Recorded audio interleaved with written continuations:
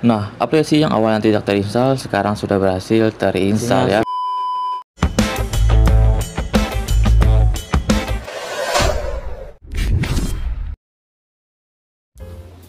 Halo guys, jumpa lagi di channel Jendela 98.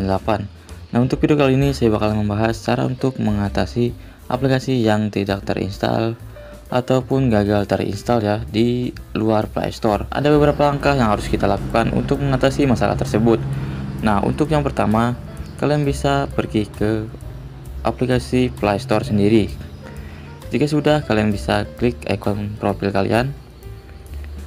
Lalu di sini pilih aja yang Play Protect pengaturan di pojok kanan atas jika sudah kalian bisa nonaktifkan untuk play protect ini kalian klik saja pilih nonaktifkan nah sekarang sudah nonaktif kalian bisa kembali. Jika sudah kalian bisa ke pengaturan HP kalian. Pilih aja pengaturan. Lalu cari manajemen aplikasi. Pilih yang akses aplikasi khusus. Lalu pilih pasang aplikasi yang tidak dikenal. Nah, di sini kalian bisa izinkan untuk aplikasi Chrome ataupun sumber dari mana kalian mendapatkan aplikasi tersebut. Nah, jika sudah kalian setting seperti tadi, sekarang kita bakalan coba untuk menginstal aplikasinya lagi.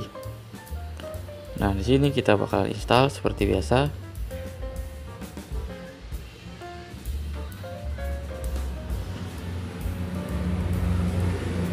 Nah sekarang aplikasinya sudah berhasil terinstall ya teman Jadi untuk caranya seperti itu aja Semoga bisa bermanfaat Wassalamualaikum warahmatullahi wabarakatuh